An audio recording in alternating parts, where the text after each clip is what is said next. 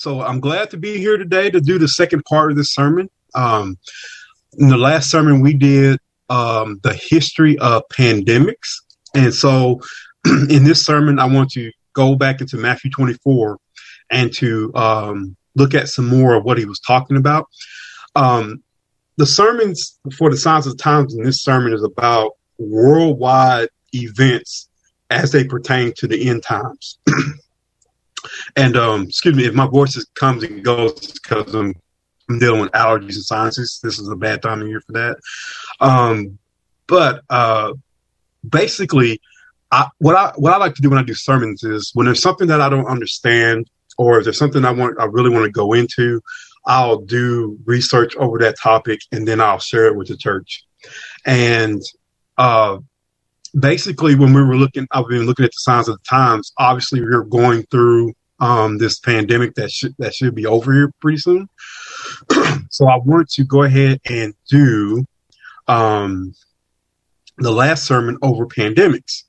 And so what we did was we went from before the time of Christ, we went through every known world pandemic from that time into this one and the information that was relevant to those each one of those pandemics. And if you're interested in in um, watching that sermon, if you haven't seen it, you can you can get on our YouTube channel and watch that sermon. But basically, this sermon I want to go over was in general worldwide natural disasters as far as it um, pertains to like weather um, and um, and um, things like the wildfires in California, tornadoes, hurricanes, uh, flooding, those type of things. I'm going to leave famines and earthquakes, false prophets, and the wars and rumors of wars for future sermons because I don't want these sermons to get too long. But basically, the one thing that I felt like some of all this stuff had in common was climate change, which I knew nothing about.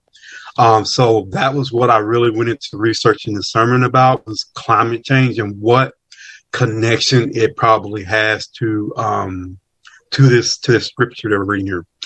Um, just like um, um, we were saying, the, the, the, you can find these signs of the times in Matthew 24, um, but there's also a verse in Daniel um, that's related to this, and that's found in Daniel 12, verse 4. And we're going to read that here in just a second. But it's, it's in Daniel 12, verse 4, he talks about the increase of knowledge in the in, in the in the end times. And so I wanted to show you how that and this verse are connected and the role that climate change has to deal with that. So I'm not knowing much about climate change. What I did is I tried to find the most apolitical sources for information like NASA, things like that, where it's just science um, scientists talking about the topic because I don't want to get into politics or whatever. But I don't know because I don't even know anything about that for politics. But I just didn't want to get into that. So I tried to find stuff like NASA, things like that, to talk about and what the scientists are saying. Um, so let's go ahead and get started in Matthew 24. I'm going to go ahead and read it from verse 1 to uh, verse 8 so we can get a context for those who are, are didn't listen to the last sermon um, for what the Bible is, is talking about here. So this is Jesus um, as he was talking about the uh, the last days. And then let me go and start. Then Jesus went out and departed from the temple, and his disciples came up to show him the buildings of the temple. And Jesus said to them, Do you not see all these things? Surely I say to you, not one stone shall be left upon another that shall not be thrown down. Now, as he sat on the Mount of Olives, the disciples came to him privately, saying, Tell us, when will these things be, and what will be the sign of your coming and the end of an age?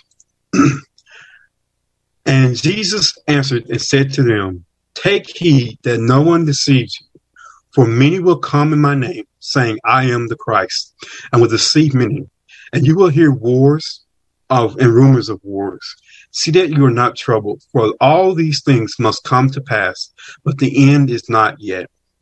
For nation will rise against nation, and kingdom against kingdom, and there will be famines, pestilence, and earthquakes in various places. All these are the beginnings of sorrows. And so, what I also want to do is go ahead and read Daniel 12, verse 4. I'm not going to read the whole thing, I'm just going to read that one verse. Um, and this is what it says But you, Daniel, shut up the words and seal the book until the end, to the time of the end. Many shall run to and fro, and knowledge shall increase. All right.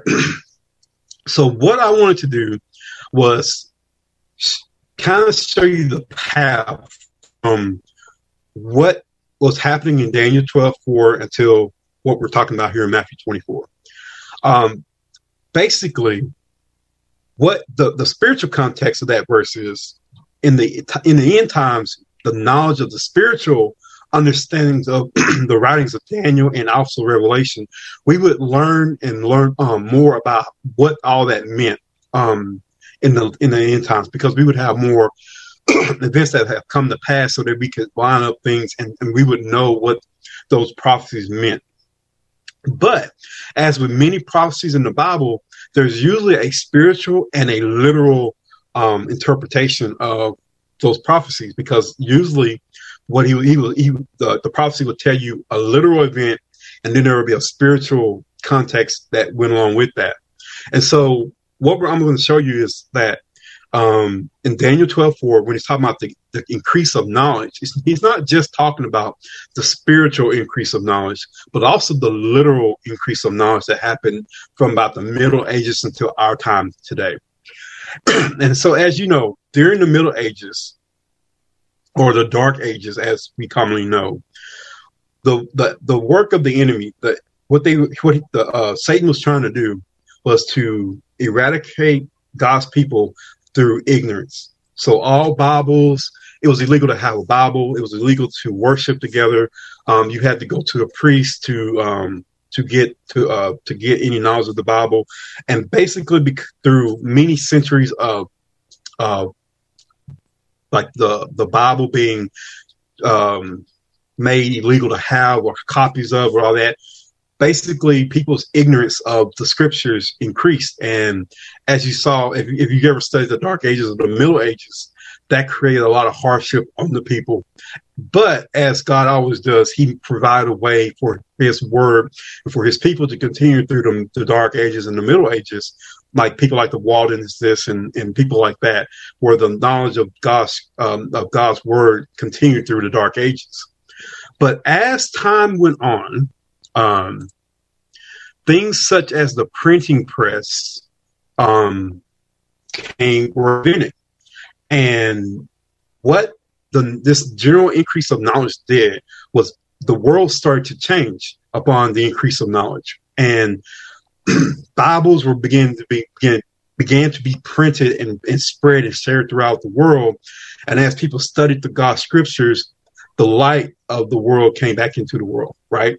So that is a, a direct um, correlation between an increase of knowledge and the spiritual increase of knowledge that happened. So in the Middle Ages, which was from a period of from 476 to about 1450. The Middle Ages, also known as the medieval or post-classical era, historians refer to the early part of this period as Dark Ages due to the loss of recorded history after the fall of the Roman Empire in AD um, 476 AD. The Middle Ages was an unstable period that lasted for nearly a millennium. Historians often group the era into three distinct periods the early Middle Ages, the High Middle Ages, and the Late Middle Ages. The early Middle Ages lasted from about 476 AD to about 1000 AD. Um, it's also known as Late Antiquity. This period shows most powers rebuilding after the collapse of the Roman Empire and the beginning of Islam in the Middle East. Then you have the Middle Ages, the High Middle Ages, which was about 1000 AD to 1250 AD.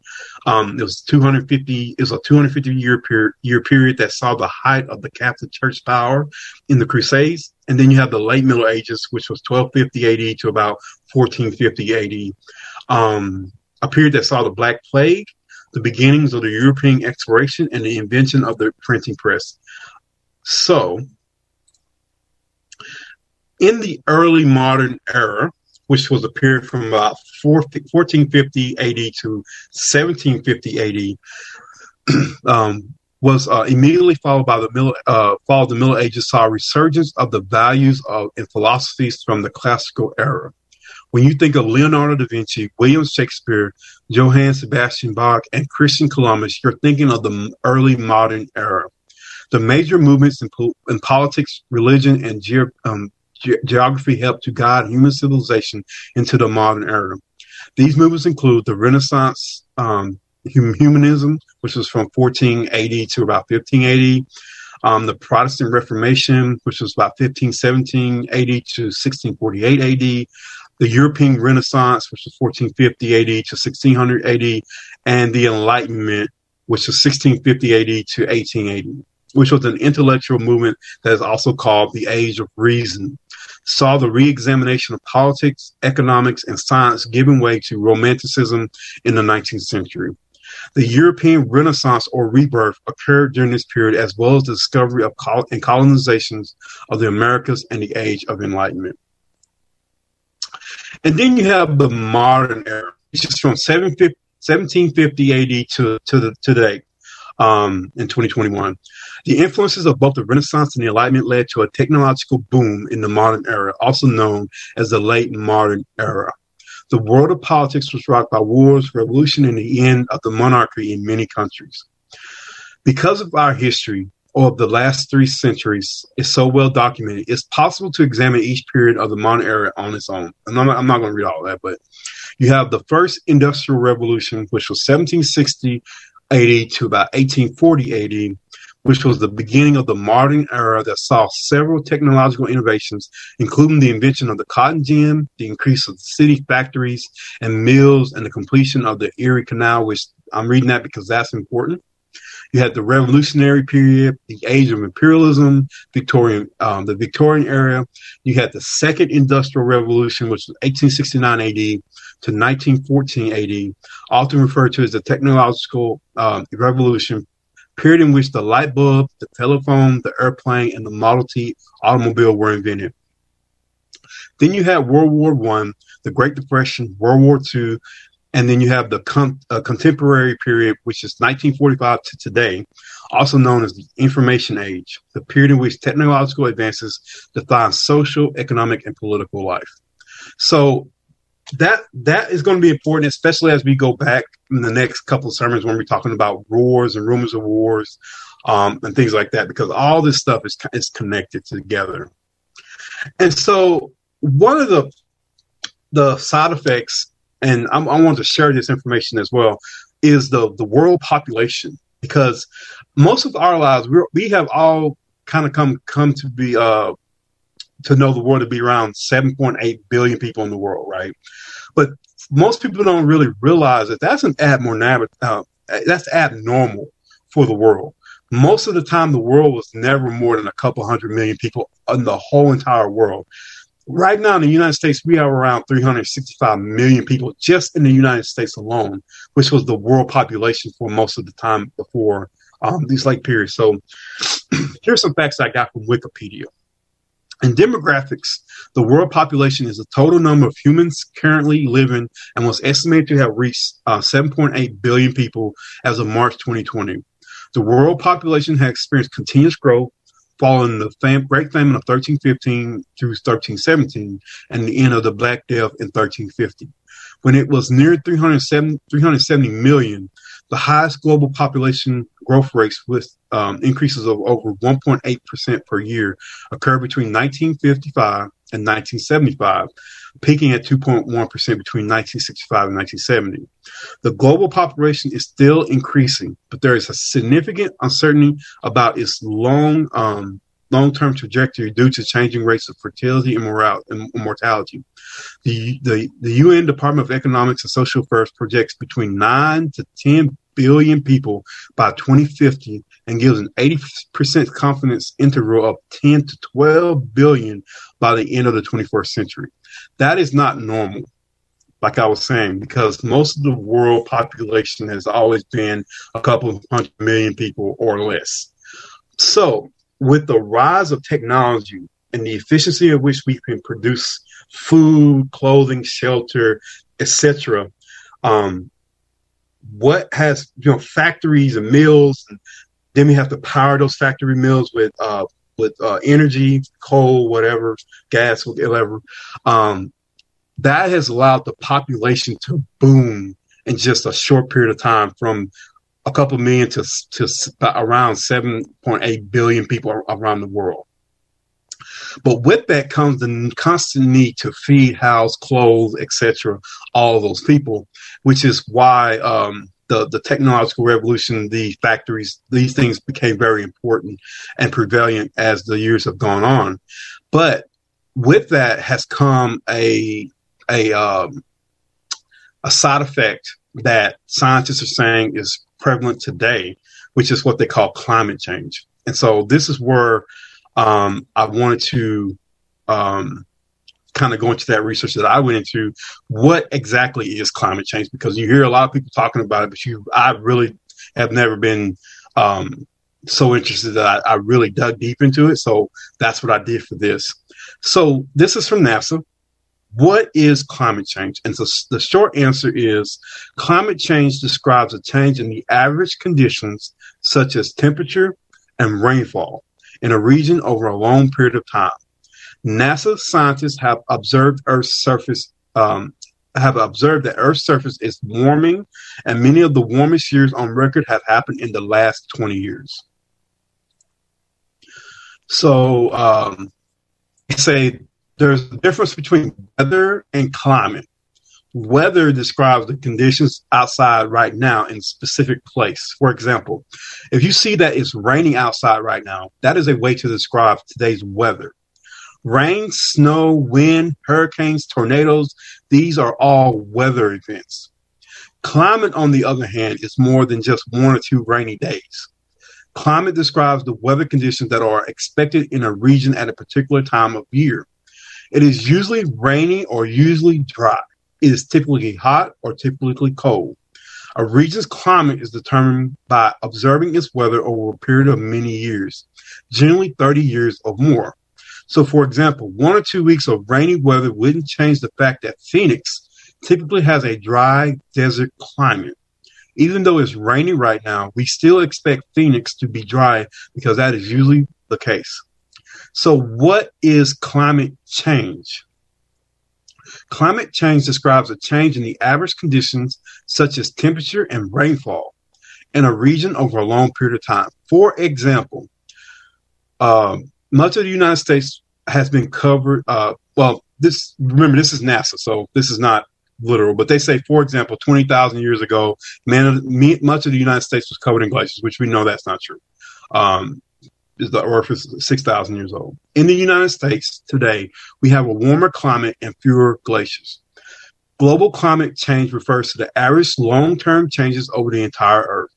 These include warming temperatures and changes in precipitation, as well as the effects of Earth's warming, such as rising sea levels, shrinking mountain glaciers, ice melting at a faster rate than usual in Greenland, Antarctica, and the Arctic, and changes in flower and plant um, blooming times. Earth's climate has constantly been changing, even long before humans came into the picture.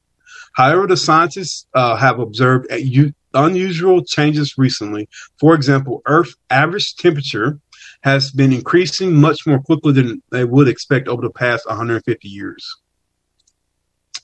So, how much is Earth's climate changing right now? Some parts of Earth are, are warming faster than others, but on average, global Earth temperatures near Earth's surface have gone up about 2 degrees Fahrenheit in the past 100 years. In fact, the past five years have been the warmest five years in centuries. Many people, including scientists, are concerned with this about this warming. As Earth's climate continues to warm, the intensity and amount of rainfall during storms such as hurricanes is expected to increase. Droughts and heat waves are also expected to become more intense as the climate warms. When the whole Earth's temperature changes by one or two degrees, that change can have big impacts on the health of Earth's plants and animals too. And for all of us here in Texas, like, you know, we've had a few hurricanes to hit us, and the, the amount of rainfall has been amazing. Like the flooding in Houston and South Texas was just a year or two ago, I believe, was um, it was it was pretty incredible um, how much rainfall has fallen. But um, let's go ahead. Let's keep going. What causes climate change? There are a lot of factors that contribute to Earth's climate. However, scientists agree that Earth has been getting warmer in the past 50 to 100 years due to human activities. Certain gases in Earth's atmosphere block heat from escaping. This is called the greenhouse effect. These gases keep Earth warm, like the glass in a greenhouse, uh, like a, the glass in a greenhouse keeps plants warm. Human activities such as burning fuel um, to power factories, cars, and buses are changing the natural greenhouse. Um, um, these changes cause the atmosphere to trap more heat than it's used to, leading to a warmer Earth. So, does what we do matter? Yes. When human activities create greenhouse gases, Earth warms. This matters because oceans, land, air, plants, animals, and energy from the sun all have an effect on one another. The combined effects of all these things give us um, our global climate. In other words, Earth's climate functions like one big connected system. Thinking about things as a system means looking for how every part relates to others. NASA's Earth observing Satellite collects information about how our planet's uh, atmosphere, water, and land are changing. By looking at this information, scientists can observe how Earth systems work together. This will help us understand how small changes in one place can contribute to bigger changes in Earth's global climate.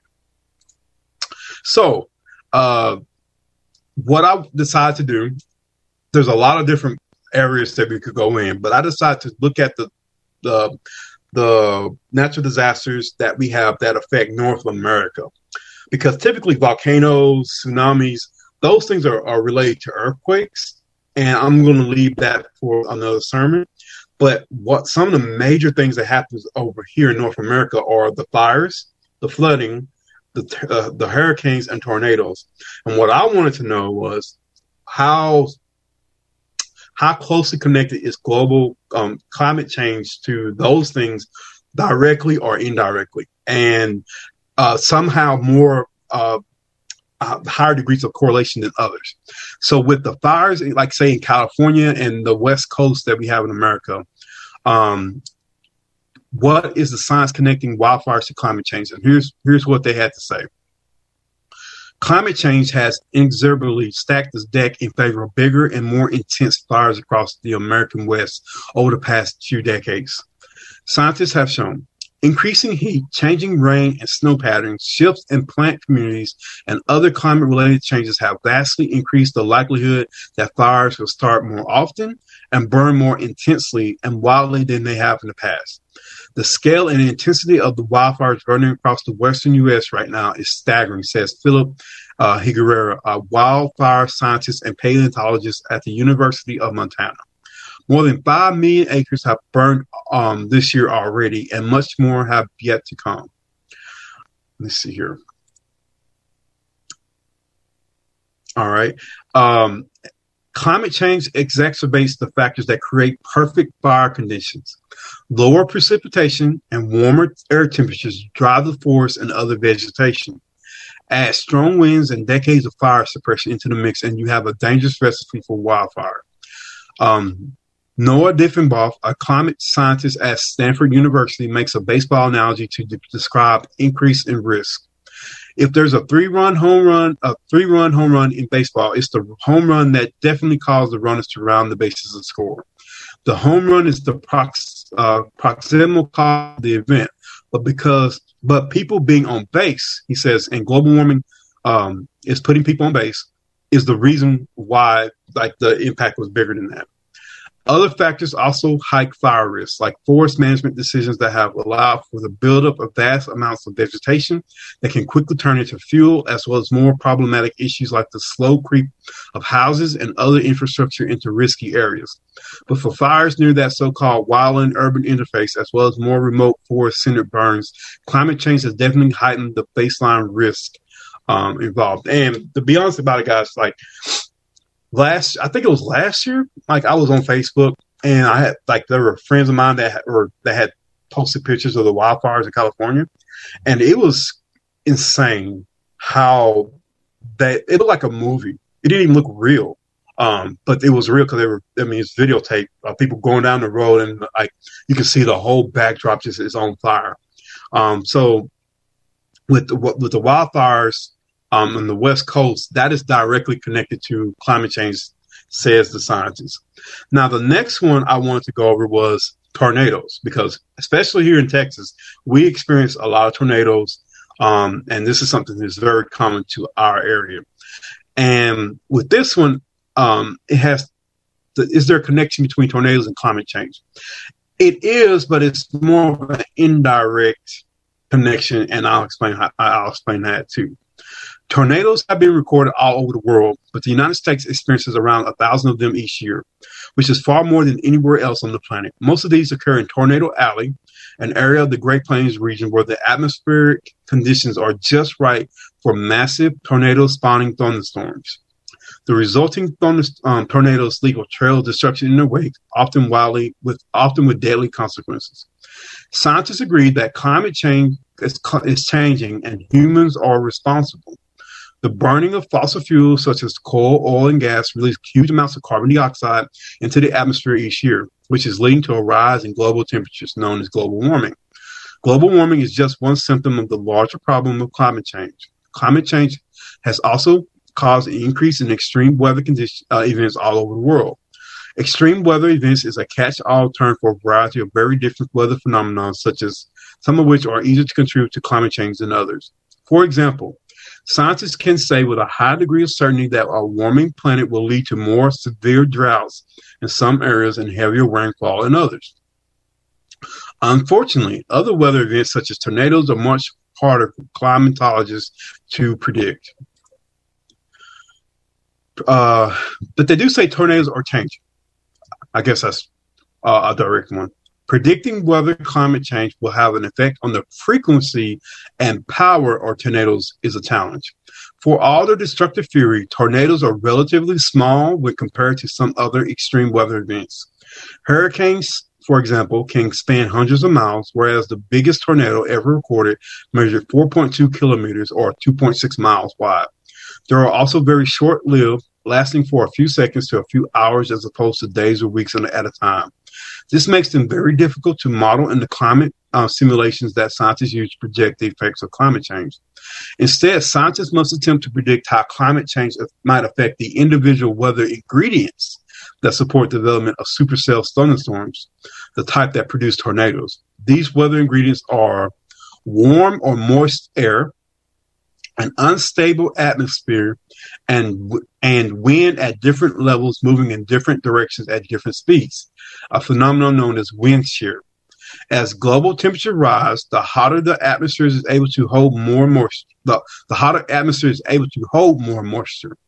This increased atmospheric instability, a vital supercell ingredient. On the other hand, as the planet warms, a wind shear another vital ingredient is likely to decrease. These two forces work against each other, and it is difficult to anticipate which might have a greater impact on tornado formation. So the question is Is climate change to blame? The fourth National Climate Assessment summarizes the complicated relationship between tornadoes and climate change. Some types of extreme weather, e.g., rainfall and extreme heat, can directly attribute to global warming. Other types of extreme weather, such as tornadoes, are also exhibiting changes which may be linked to climate change, but scientific uh, understanding isn't detailed enough to project direction and magnitude of future change. In other words, we still have a lot to learn about how climate change might affect tornadoes. One thing we know for certain is that we live in a warmer, wetter world thanks to climate change, and this is likely to have an effect on extreme weather events, including tornadoes. Unfortunately, in the case of one of nature's most violent storms, we cannot yet predict what that effect might be. So, with the fires, it's directly um, contribute to a, a, warm, dry climate in the west part of, of the United States. Um, with tornadoes, it's more of the atmosphere with uh, the warmer weather, the instability of the uh, conditions of the of the of the of the you know our, our basically the atmospheric conditions are inst- unstable. So I would say that the tornadoes are indirectly related if they're related at all. So that was one of the things I wanted to know was tornadoes. But one of the, the, the third thing here that I want to go over was hurricanes because hurricanes um, seem to be one of the things that could be directly contribute to um, climate change. So let's go ahead. There's a study um, that climate change has been influencing influencing where top, tropical cyclones rage, which is hurricanes. Uh, hurricanes come out of tropical storms, basically. While the global average number of tropical uh, cyclones each year has not budged from 86 over the last four decades, climate change has been influencing the locations where these deadly storms occur, according to new NOAA led research. Okay. New research indicates that the number of tropical cyclones has been rising since 1980 in the North Atlantic and Central Pacific, while storms have been declining in the Western Pacific and in the South Indian Ocean. We show for the first time that this observed geographic um, pattern cannot be explained only by natural variability, says uh, Hiroyuki uh, Murakami, uh, climate researcher at um, NOAA's Geophysical Fluid Dynamics Laboratory and lead author. Murakami used climate models to determine the greenhouse gases, man-made aerosols, including particle, uh, particulate pollution and volcanic erosions, were influ- influencing where tropical cyclones were hitting. Um, three forces are influencing where storms are hitting. So basically, what they're about to go over here is that how climate change affects hurricanes is that it has been changing where they're hitting and the intensity at which they're hitting um, with. So it's not that they're creating more; it's it's that they're changing um, where they're hitting in the world. So they're saying that greenhouse gases are warming the upper atmosphere of the in the ocean. This combines to create a more stable atmosphere with less chance um, that co- convection of air currents will help spawn and build up tropical cyclones. Particulate pollution and other aerosols help create clouds and reflect sunlight away from the earth, causing cooling. Uh, causing cooling, Murakami said. The decline in um, particulate pollution due to pollution control measures may increase the warming of the ocean by allowing more sunlight to be absorbed by the ocean.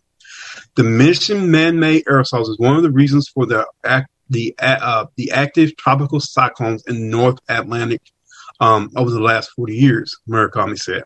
However, toward the end of this century, tropical cyclones in the North Atlantic are projected to decrease due to the calming effect of greenhouse gases. Volcanic eruptions have also altered the location where tropical cyclones have occurred, according to the research. For example, the major eruptions in El uh, Chichón, it's, in Mexico, it's a town or a city or whatever, in 1982, um, and um, Pinatubo in the uh, Philippines in 1991 caused the atmosphere of the northern hemisphere to cool, which shifted um, tropical cyclone activity southward for a few years. Ocean warming has resumed since 2000, leading to increased tropical cyclone um, activity in the northern hemisphere. So, uh, climate models project decreases in tropical cyclones toward the end of the 21st century from the average of the annual average of 86 to about 69 worldwide, according to the new study. Dec- declines are projected to in most regions except the Central Pacific, including Hawaii, where tropical cyclones activity is expected to increase. Despite a, a projected de- uh, decline in tropical cyclones by 2100, many of these cyclones will be significantly more severe. Why? Rising sea surface temperatures fuel the intensity and destructiveness of tropical storms. So, basically, hurricanes are being affected by all these um, the greenhouse effect about the warming uh, of the oceans and all that sort of stuff. So, one of the things that I pretty much um, gathered from all this research is basically all this stuff, the weather, the earth, all of this connected. And when you start changing one element of of of that formula, I guess you could say, it affects everything um, um, that's involved. And the, when the weather and the climate of the world is basically um, changing, and a lot of these things, storms are becoming more severe. Um, the, the fires are becoming more severe. The, the, hurricanes are becoming more severe. Some of these super um, thunderstorms or tornadoes are becoming more severe. The raining, the flooding is becoming more severe. And the reason why all this is important is because when you read Matthew 24, one thing that kind of jumps out at you is that he's talking a lot about world um, uh, weather events or natural disasters like famines, pestilence, pestilence earthquakes, um, and it can't be um, a coincidence that he's talking about those things as being signs of the times, right? And so that's why, like, that's what led this whole this whole uh, research about. So, what is where did this climate? What is climate change? Where did it come from? How is it connected to the to, to, the signs of the times? In Daniel 24, it talks about an increase in knowledge, and that increase in knowledge started happening during the Middle Ages, which is where a lot of these um, signs, like the pestilence, the famines, all this stuff, it's not just talking about our time. It's talking about all the the uh, the uh, Middle Ages up to now. Um, it's when all these things will start to really start to occur on a worldwide basis more frequently, and an increase in knowledge has led to a lot of these things starting to happen with the intensity and the widespread that they are. For example, with the famines, uh, with, with the pestilence, with the um, that we went over in the pandemics in the last sermon, it takes humans spreading um, that disease from one human to another for it to become to, to grow and get bigger. Well, quite naturally, if there's more people in the world, there's the, the, the, the scale of how big the pandemics can get only increase. So like a pandemic, if you don't know, is when you have like a, a disease that spreads from one country to another. So once it crosses a border, it's called a pandemic, right? So if you have more people in the world and more people all over the world. That's why when this pandemic happened this time, it spread across the entire world and it spread really, really quickly. Whereas before, like in the first pandemics, it may only have affected one or two countries in a small geographical area. So basically, um, as the world population has grown and the need for factories and the need for all these things have increased and we're, we're putting all this stuff out into the atmosphere, the climate of the world is changing, which is causing the severe weather um, that we're experiencing.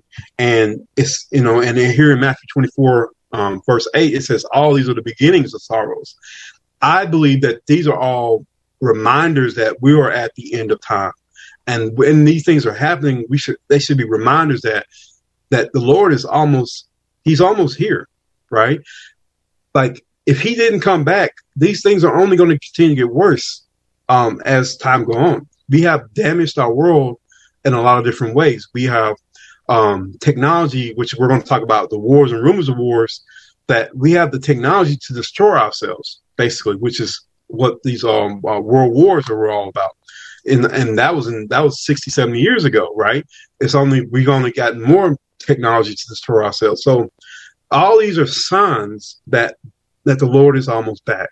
And so when we see things happening, we should that the first thing we should think of, oh, this is another sign. He's coming back.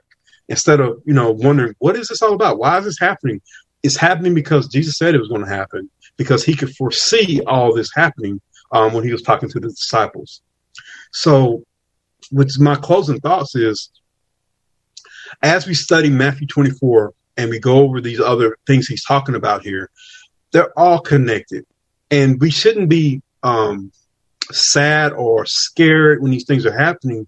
We should be encouraged because the Lord is almost back, which is what we all want. It's time to put all the sorrow and all these things to bed um, so that we can go home with our Lord. And so um, in the next sermon, I believe I'm going to go over famines and earthquakes, maybe the false prophets, or I may split that up in different ways um, because there are a lot of examples of those things as well. Um, but this is why I went over climate change was because it is very related with what has happened and what was prophesied at the end of time. And so, um, yeah, that's that's that's what I what I came up with. I learned a lot when I was trying to um, research this topic, and that's why I wanted to share with everybody today. All right, so um, how about we go ahead and bow our heads and have a word of prayer. Lord, thank you so much for foretelling all the events that would be happening here at the end of time. Thank you for getting us prepared, um, for sharing um, the secrets uh, of the future when you were talking to your disciples, when you were uh, giving this information to Daniel. Thank you so much for not leaving us in the dark, for always providing the light for us to be able to study and to learn and be prepared um, for these end times, Lord. We know these things have to come to pass.